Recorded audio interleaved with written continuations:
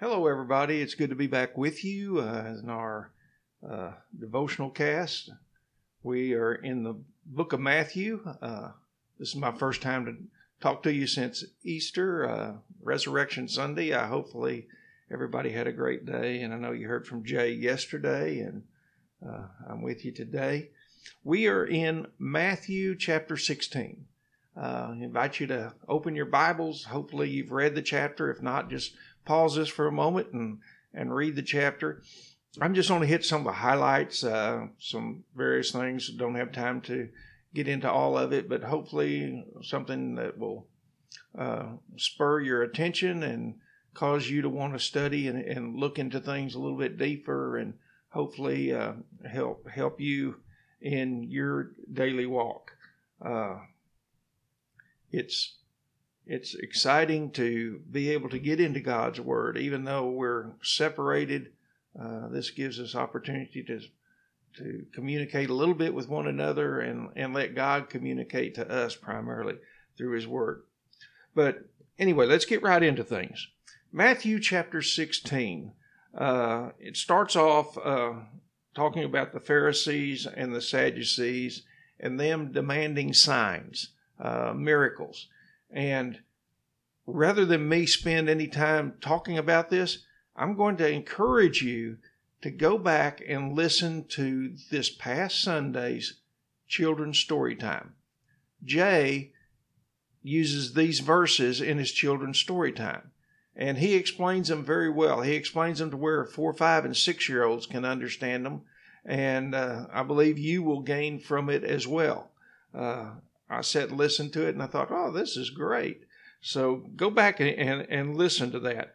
And so I'm not going to spend any time on that. I do want to mention in verse 4, it says, an, an evil and adulterous generation seeks for a sign.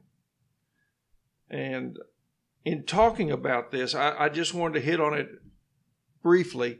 Uh, it's evil because they were seeking to destroy Jesus. That's why they were seeking a sign. Uh, that was the evil part. And the adulterous part is that uh, they were leaving God and going to pursue their own doctrines. And that corresponds with adultery. It wasn't physical adultery as we would think of it as man, woman, or or, or whatever. It was uh, from God's way, leaving God's way to go and do things their way or following their traditions or whatever they were seeking. So that's what he's talking about there. But anyway, let's move on. And in verses 6 and following, he starts talking about uh, the leaven of the uh, Pharisees and the Sadducees. Now, we all know that leaven is what causes bread to rise. Uh, when one adds just a little bit of leaven, in one place it talks about a little leaven goes a long way. It leavens the whole loaf. And it's so true that just a little bit of evil, a little bit of false doctrine, a little bit of hatred or, or whatever might be going on that's contrary to God's will, contrary to what His Word teaches us, uh, a little leaven is going to create problems. And so he talks about uh, he, he he gets in and starts talking uh, about the, the leaven, and then he talks about you know the disciple says you know we don't have any food, and he says remember what I did you know with a couple fish and five loaves? You know don't worry about that stuff. You know don't don't sweat the small stuff. You know I, I I've got this and and so he, he talks about those things. And then he gets into peter's confession. And i'm not going to spend a lot of time on this either. Uh, we've we've talked about it in the past i know and uh, there'll be many other lessons in the future. But uh, I, I do want to note a couple things because we talk about peter so much. Uh, peter just comes to the forefront so many times. And so many times you know, we say, Peter, uh, we've talked about how he says, "Oh, ye of little faith," and and it's Peter that's the one that you know we just talked about. He got out of the boat. The others were in there, but he says whenever he started to sink, he says, "You little faith." Well, this one time, it's not, "Oh Peter, ye of little faith." He says in verse seventeen, "Blessed are you." Peter got it, and so Jesus says, "Blessed are you, Simon Barjona." For flesh and blood has not revealed this to you, but my Father who is in heaven. You know, Peter got it. And Jesus compliments him for it. And, you know, I'm not going to get into, you know, Peter, upon this rock I'll build my church. We know that the church was not built on Peter. Peter was not the rock. He was talking about that. Uh, and just read it. It's it's not hard to understand. It's what people try to do and how they change things and, and try to make doctrines after their own lust, like uh, Paul told Timothy would happen. And so he, he, talks about this and and and he compliments Peter uh, and he says, "I'm going to give you the keys to the kingdom. Uh, the kingdom is is coming soon, and you're going to be a part of that. You're going to be involved in that." Now, at this point, Peter doesn't understand what that is uh, exactly, but uh, Jesus is telling uh, You will soon. You will understand. And by, as he talks about that, he goes into the very next thing that he starts foretelling of his death, burial, and resurrection. Uh, you know, this is something that the disciples don't want to hear. Because what are they looking for? In this kingdom, they're still thinking a physical kingdom like David had. The kingdom was going to be restored here on earth. And they're expecting a physical kingdom just like that. And so Jesus starts talking about how he's going to be killed and how he's going to be resurrected. And man, that just does not sink in with Peter and the apostles. They just don't grasp that yet because they just can't comprehend what he's saying and, and what he's telling them. And Peter, it says that he took Jesus aside, and this is uh, in verse 22. And Peter took him aside and began to rebuke him. Peter is rebuking Jesus the Son of God. Peter had very strong feelings about what was going to take place. And he's saying, No, this will never happen. And he's rebuking Jesus. Remember, it's Jesus, I mean, it's Peter that pulls out his sword and is ready to fight whenever they come to arrest Jesus. Well, you know, Peter says, No, Lord, this will not have it. Far be from it, you, far be it from you, Lord. This shall never happen to you. And what does Jesus say? Get behind me, Satan. Now, Jesus is not calling Peter a devil. Peter is, uh, Jesus is telling Peter, he's simply rebuking him for what he's saying and he's rebuking him strongly. But Peter had rebuked the Lord pretty strongly prior to this. And so he's not calling him a devil, he's just telling him he's got some misguided zeal. And that zeal we know he continues to have up until the arrest of our Lord. And so these things taking place here uh, are unfolding and we get to sit here and read it. And we've read further and we know, as Paul Harvey used to say, we know the rest of the story.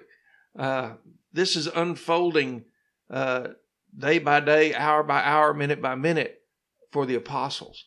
And they're having to learn as they go. And they don't get to know the rest of the story like we do. And so let's let's be easy on them.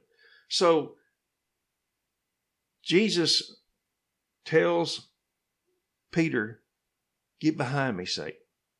Uh, set your things on God, uh, not on things of man. And then, scripture that we often talk about take up your cross and follow me. In verses 24 uh, and following, it says, Then Jesus told his disciples, If anyone would come after me, let him deny himself and take up his cross and follow me. Now, that's a challenge for them.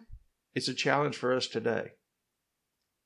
That we have to deny ourselves and take up our cross and follow him. Now, we know that when we obey the gospel, when we become a Christian, when we become obedient to God's instructions for salvation under the new law after his death, burial, and resurrection. We see it unfolding in Acts chapter 2. We read through the book of Acts when we see all the conversion stories and we see what each and every one of them uh, did. But just like Jesus talked to Nicodemus in John chapter 3 about being born again, uh, when we take up our cross and follow Jesus, we have to deny self. All those things that are important to us have to become secondary. God's number one. God's will, God's our service to Him is number one. It doesn't matter what we have, what we do, anything.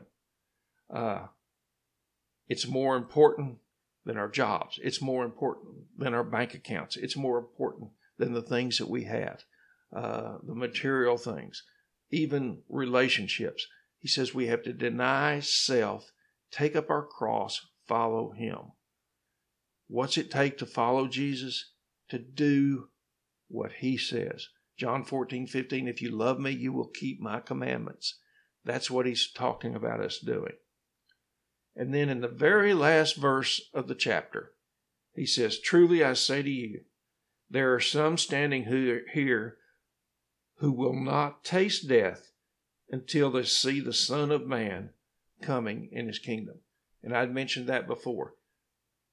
All the Bible, from Genesis all the way through the Gospels, is pointing to the kingdom to come. The Lord's Prayer that we talked about earlier Thy kingdom come, thy will be done. He says that the kingdom is coming and some of it will happen before some of them even die. It comes in their lifetime. And so realizing that uh, the kingdom has come now, and we see it come in uh, Acts chapter 2 on the day of Pentecost, uh, we need to realize those things. So, that's just a, a quick overview of some of Matthew 16. Go back and dig into it a little bit more. And uh, I pray that you uh, will be blessed and that you will grow in your knowledge, that you will seek the wisdom that God offers us. And uh, until next time, Jay will be with you tomorrow. And uh, look forward to, to seeing you uh, as long as we have to this way. And uh, have a blessed day. Let's end with a word of prayer. Our Father in heaven, we humbly bow before you. Thank you for giving us your word. Thank you for giving us opportunity to be able to study it together, even though we're apart. We're thankful for all the modern day uh, inventions that we have so that we can still communicate with one another that we can still be there for one another. Bless each and every one. Help us to grow in the knowledge and the wisdom of your word. Uh, grant us that wisdom that we need to discern right from wrong, to seek your will. And dear Lord, we just pray that we will deny ourselves and take up our cross and follow you. This is our prayer in Jesus' name. And let the church say, Amen.